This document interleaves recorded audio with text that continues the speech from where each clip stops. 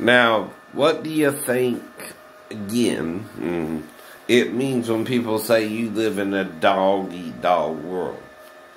Well, a dog, for example, will fuck his girl in your bedroom when you're out for the evening and act like that's not crazy to him and the girl. Mm. Dog brat. Oh, I'm going to say that. And a dog, okay, mm-hmm, will use his girl as bait when you're single and trying to find a single girlfriend. Bitch. Having sex with your boyfriend in my bedroom. Just saying. Mm-hmm. Maybe I'm playing. Mm-hmm. Y'all wouldn't do that now. would you? Only a dog would do that to establish dominance over a male who ain't even seen her in a while and thinks of Asian looking women, not Mexican looking women. Anyway.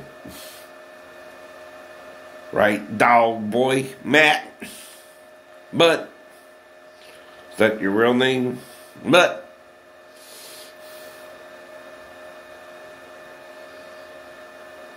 one you and you're a mutt. Because, you know, I talk hypothetical anyway. But I know y'all wouldn't do something crazy like that when I'm out the house for a while. I can't get back to round six and then. I don't know. And getting evidence against Officer Martin that he's just a fucking jerk and don't know the law. but playing policeman as well. Mm-hmm. Not just policeman, but insurance adjuster and Dr. Dolittle. Mm-hmm. On the job. Uh, he's qualified to, that split second, determine my vision problems. and ain't even seen uh, before. Mm-hmm.